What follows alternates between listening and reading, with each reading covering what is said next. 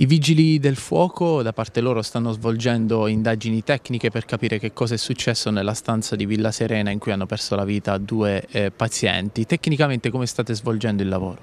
Certo, oltre a indagini tipo tecniche, quindi sul, sugli impianti, sui materiali che sono presenti all'interno del, dei locali in cui c'è stato l'incendio, noi stiamo facendo anche indagini di tipo documentale.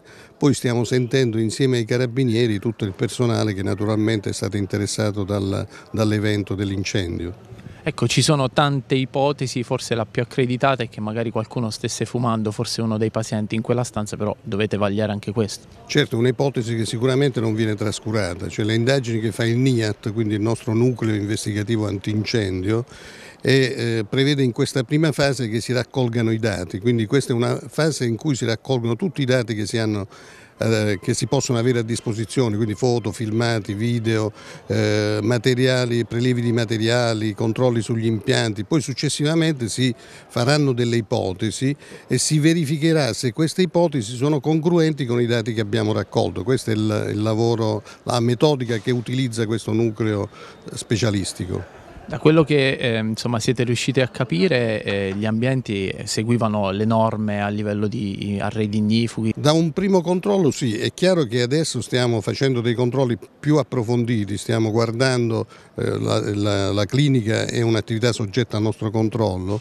quindi stiamo guardando le carte, i progetti per verificare che i locali e gli impianti fossero a norma.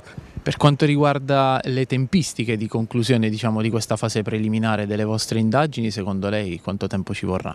Ma io credo che nel giro di una settimana dovremmo consegnare la nostra relazione alla Procura compresa delle indagini fatte dal NIAT, la, la proble le problematiche che possono ritardare sono dati ulteriori che poi noi possiamo eh, ricercare in relazione agli accertamenti che si stanno facendo. A livello di allarme eh, è scattato subito, siete stati subito avvisati, come sono andati i fatti quella sera? Nel momento in cui siamo stati avvisati, nel giro di qualche minuto, cioè, eh, abbiamo un presidio di volontari a Montesilvano, è riuscito ad arrivare sul posto in 8-9 minuti, poi immediatamente dopo anche, sono arrivate due squadre dalla centrale di Pescara, quindi il nostro eh, arrivo stato, e il nostro intervento è stato tempestivo.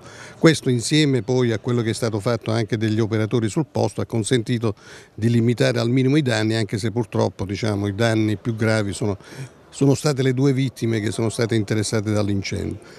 Quello che è successo dal momento in cui è avvenuto l'innesco del materiale che ha dato poi luogo all'incendio, cioè i tempi eh, poi di intervento eventualmente delle, degli operatori sono al vaglio appunto di, degli accertamenti che stiamo facendo. Con l'innesco l'avete trovato?